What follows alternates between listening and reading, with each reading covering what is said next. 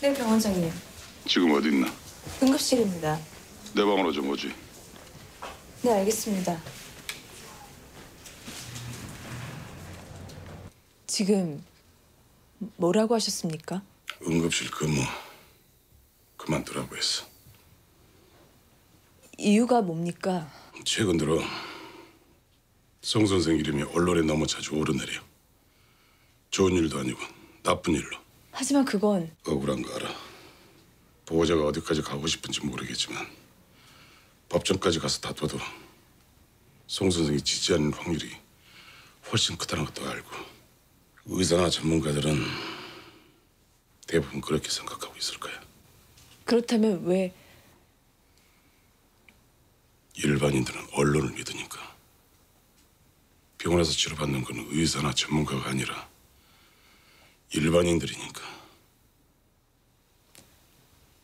그러니까 저에게 퇴직을 권고하시는 이유가 병원 이미지가 실추될 것을 염려하셨습니까?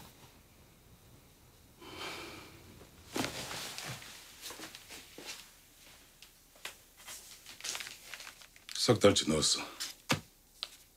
석 달만 쉬면 사람들도 잊을 거야.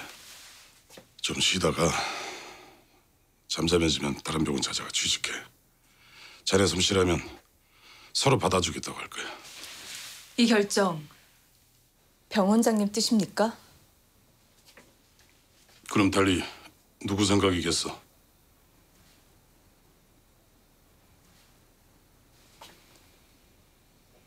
알겠습니다.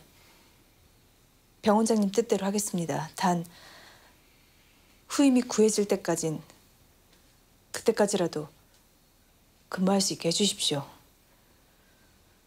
밤마다 응급 환자가 넘칩니다. 강 선생님 혼자 힘으로는 역부족이에요. 응급 수술도 꽤 되고요. 그러니까 그건 걱정할 거 없어.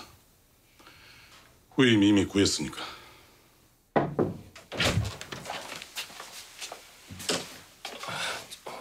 원장님, 명세중 선생 맞습니다.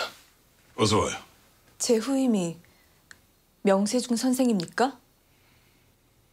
명수정 선생한테 인수인계하고 오늘부로 송은재 선생은 응급실에서 빠져.